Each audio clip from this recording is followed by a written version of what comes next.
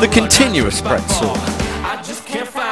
goes back, raise the left, raise the right, the right, raise the left, the left, the right, the right, turning our partners and back. The continuous pretzel starts with the leader's left to the follower's right, hands down at waist level and in nice and close. From here we push away with the back of our hand as leaders you step out to the side, offering your right hand behind the back.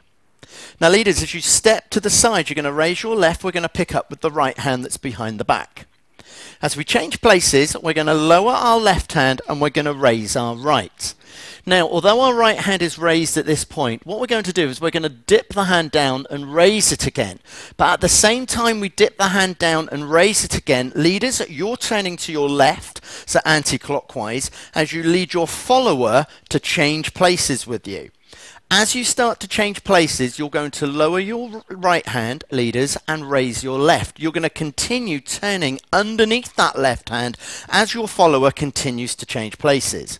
Now, as I turn uh, to my left, there'll be some natural tension on my right hand that's behind my back to turn Luci a quarter turn to the side. From here, we can pick up that pretzel position again now as we change places, lowering our left hand behind the back and raising our right.